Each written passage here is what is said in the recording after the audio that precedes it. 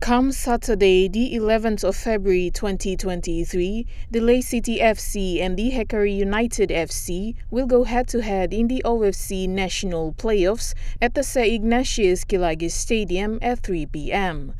This will be the first playoff as the Lae City FC will host the Hekari United FC. The update was detailed by the PNG FA competition manager Amjad Takwi.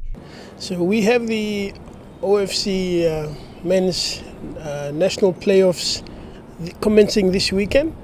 The first uh, match will be uh, hosted by Lae FC up in uh, at the Sir Ignatius Kilage Stadium uh, this coming Saturday at 3 p.m. The return leg will be hosted by Hekari United on the following Saturday, which is the 18th of February 2023, at the Sir John Guise Stadium in Port Moresby. And the return leg will be hosted by Hekari United uh, back here at the Sir John Guise Stadium on uh, the following Saturday in a fortnight uh, on the 18th, 18th of February.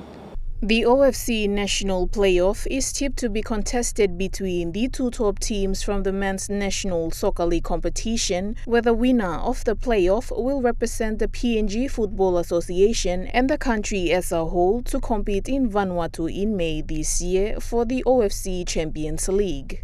Uh, the winner of the playoffs will represent uh, PNG FA and Papua New Guinea at uh, Vanuatu in May for the OFC Champions League. Manager Takwi is appealing to supporters and football followers in both Lae and Port Moresby to show support during the OFC national playoffs. Lisa Puni Chukai Sports.